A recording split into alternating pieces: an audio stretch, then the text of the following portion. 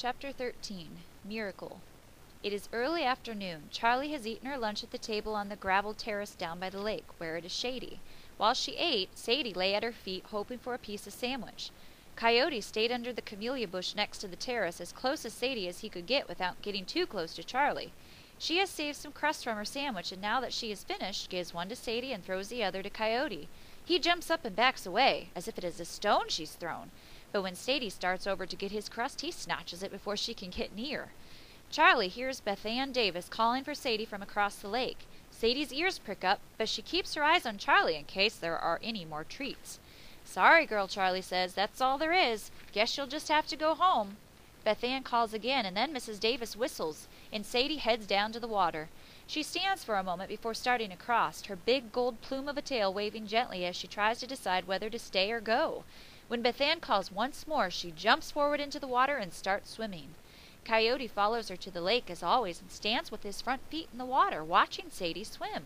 When she's about halfway across, he whines, but doesn't start after her. She gets all the way across, climbs out of the water, shakes herself, and runs up the hill. Still, Coyote doesn't move. He will go any minute, Charlie thinks. Of course he will. Much as he hates swimming, he always follows Sadie eventually. But he doesn't. He stands a while longer, looking toward where she's disappeared, and then turns around, goes back to the camellia bush, and lies down. Sadie's gone home, and Coyote has stayed. He's made a choice. Between Charlie and Sadie, he's chosen Charlie. At first, she doesn't move. She's afraid if she does anything, makes even the slightest sound, he'll realize what he's done and take off. Liver. She needs to get him some liver, reward him for staying. Slowly, carefully, looking away from him every minute, she eases herself out of the chair and starts up to the house. Good dog, she says as she goes, her voice as low and soothing as she can make it. Just stay there. Good old boy. Sarita, she yells when she gets inside. You'll never. But Sarita must have been watching from the windows by her puzzle table. She's already coming from the kitchen with the sandwich bag full of liver pieces. Coyote's still under the camellia. Charlie wants to run down the drive and throw herself at him, hug him, and rub his ears as if he's a regular dog. Her regular dog. It is all she can do to walk slowly down to the terrace, keeping her eyes focused on the table and chairs, and sit down. Good dog, she says again, amazed and relieved that he's still there. Want some liver? She's been talking to him about the liver she takes him every evening, saying the word over and over as he comes to get the pieces she puts out so that he'll know what the word means, something he really, really likes and he's been coming gradually closer and closer to get it. But still, he hasn't taken the pieces closest to her. She always sees him as she and Sarita drive away, sneaking back to get the last of them. She turns to look at him now, and their eyes meet. He doesn't bolt. She feels the tremor of their connection. Liver, she says. Every time you stay here when Sadie goes home, you get to have liver. She takes the biggest piece she can find, holds it between her thumbs and first finger so that it sticks out away from her hand, turns her head away, and holds the liver out to him as far as her arm will reach. Is he coming to get it? She can't tell. She doesn't dare turn to see. She holds her breath, makes herself as still as she can. Come on, she thinks at him. You can do it. Come get the liver. Suddenly, the liver is gone from her fingers. He has taken it so gently she didn't even feel his muzzle near her hand. Just one moment the liver between her fingers, the next moment gone. Moving in slow motion, she pulls her hand back and gets another piece of liver. She extends her arm again, and again the liver disappears. Three more times she does it. Then she holds the last piece out in her cupped palm so that he'll have to touch her to get it. It takes longer this time, but he gets it, his nose and whiskers grazing her hand. At his touch, her eyes blur with tears. Good dog, she whispers. Good, brave dog. The sandwich bag is empty now, so she turns to look at him. He is no more than two feet away. He stands his ground, his ears and tail looking at her as if to ask if there's any more.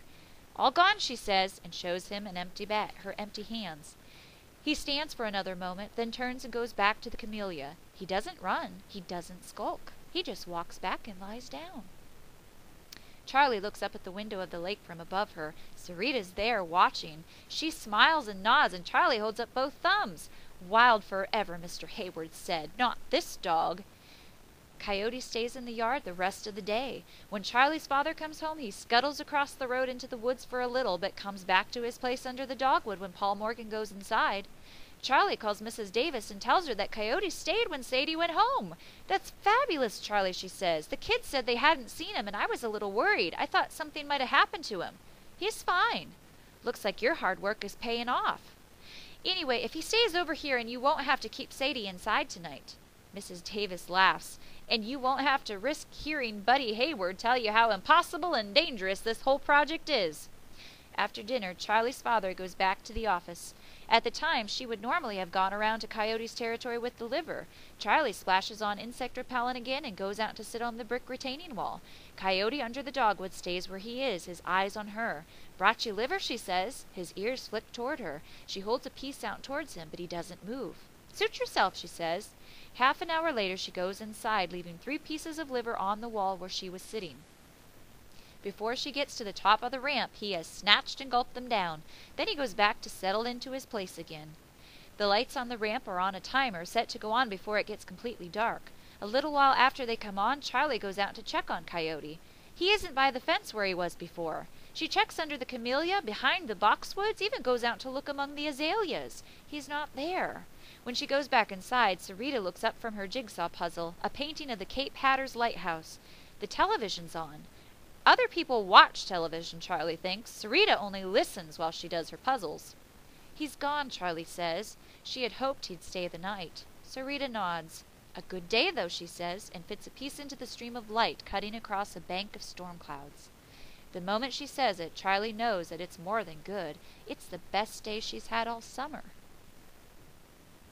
Chapter 14 Watchdog When Charlie goes out the next morning dressed to walk around the lake as always, Coyote appears from the trees across the road and stands at the head of the driveway looking at her. She can hardly believe her eyes. Good morning, Coyote, she calls, and spreads out both of her arms like a mother inviting a child to come running for a hug. He doesn't come, but he doesn't back off either. His tail, a pale golden plume, stands straight up over his back, and she thinks she sees it move. The beginnings of a wag! Want your lunch? she asks, thinking it is time to change the word to breakfast if he is going to eat it first thing in the morning like this. But he does know the word. As soon as she says it, he takes a few hesitant steps down the drive. Then he sits, watching her expectantly. Okay, I'll be right out with it. When she takes his bowl outside, he scuttles off into the trees. She puts it down where she has been feeding him lately, on the driveway nearest place by the dogwood. Then she goes to sit on the retaining wall. Come and get it, she calls. He emerges from the woods onto the road. His tail is down now, and his ears are back, his shoulders hunched forward. He's a wild thing again. What's the matter? Charlie asks. You took liver from my hand last night. At the word liver, his ears twitch, but he doesn't relax. He's been eating with her sitting and watching for days. What's the problem? And then she knows. The problem is that Sadie isn't here. It's just him and Charlie. It's okay, she tells him. Really it is. You took liver from my hand yesterday, remember? Sadie wasn't with you then. But that was yesterday. There was a night to get through since then. Wherever he was, like all his other nights, he was alone. Alone meant having to be on guard, watch out, survive, even while he slept. Besides, sleeping can wipe out memories so that you have to start over again in the morning. Charlie knows how it is to wake up in your old self all over again and have to get used to what has changed in your life. Okay, guys, she says. She goes back into the house. Almost the instant the door slides shut, Coyote comes down the drive and eats.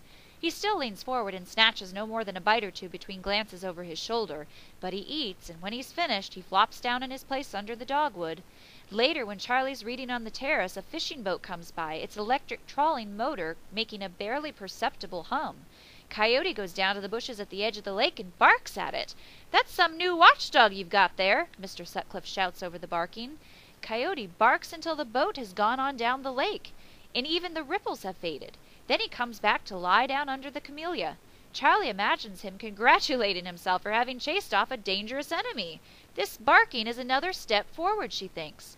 Their yard has become Coyote's territory. That day, a new pattern begins. The daily hikes are over. After dinner, Charlie takes Coyote his liver pieces, and little by little he begins to come up to her and take them from her hand, even when she's looking at him. At dusk he disappears, but when she goes outside in the morning he is there, lying up by the road or sitting at the end of the driveway waiting for her. If her father leaves before Charlie goes out, he never sees the dog, but Charlie is sure Coyote isn't going back around the lake any more. He has found a place in the woods across the road to spend the night. Sadie comes over later, sometimes swimming, sometimes on the road. Charlie always has a book with her, but she doesn't get much reading done. After a while she figures out what the dogs are telling each other with their ears and their tails and the expressions on their faces. If she kept a notebook like Jane Goodall did with the chimpanzees, she thinks, it would have more interesting information about, about dogs than the training books do. The only change in the new pattern happens on the 4th of July. Fireworks aren't legal in North Carolina, but they are in South Carolina, and Eagle Lake is only a few miles from the South Carolina border, so there are plenty of firecrackers and bottle rockets around the lake on the 4th. The minute the firecrackers start going off in the early afternoon, Coyote disappears. Charlie and her father, Sarita, have been invited to the Sutcliffes for a picnic supper, along with most of the rest of the people from the north side of the lake. Coyote hasn't shown up again when it's time for them to leave, so he doesn't get his evening liver. She leaves a few pieces on the retaining wall. When they get home after the picnic, there's no sign of Coyote. The liver is still on the wall. Deep booms fill the night with the official fireworks in downtown Charlotte. Charlie worries all night about where Coyote is and whether he'll come back. He's, she's heard of dogs so frightened by fireworks that they run off and get lost and are never seen again. But when she goes out the next morning, the liver is gone, and he is there, lying out by the road. Just taking care of myself, he seems to say. You can't be too careful.